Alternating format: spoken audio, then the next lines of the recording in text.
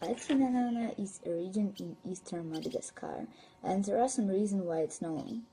Firstly, because six parks in Madagascar are included in UNESCO's World Heritage List. Secondly, because about 90% of all species in the forest live no other place but Madagascar's forests. And thirdly, those forests uh, are important for ecology and moreover for survival of Madagascar's unique biodiversity.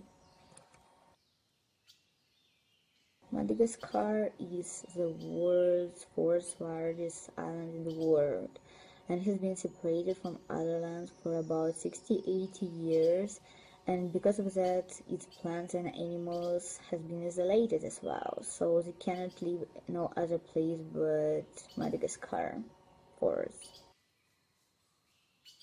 Firstly, there are many unique types of species uh, about 80-90%. Secondly, because there are a lot of rainforests, uh, as well as six national parks. Based on the information of UNESCO, Atsinanana forests contain unique biodiversity and have protected animal species and endemic plants. That island in isolation from all other land masses for almost 80 million years, and all species and plants has evolved in isolation. The environmental refuge for animals is also important because of climate change and will be essential for adaptation and survival of species.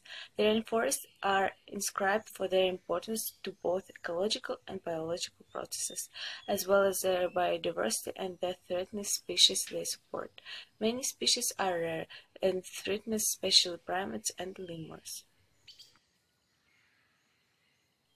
We think that one of the best potential solutions to the highlighted sustainability issue is to provide the island with additional financial and human resources. Moreover, there could be done an extension of the property to include protected areas. Also, there should restrict any damages to the park. For solution can be used offer about eco tours to Atsinanana.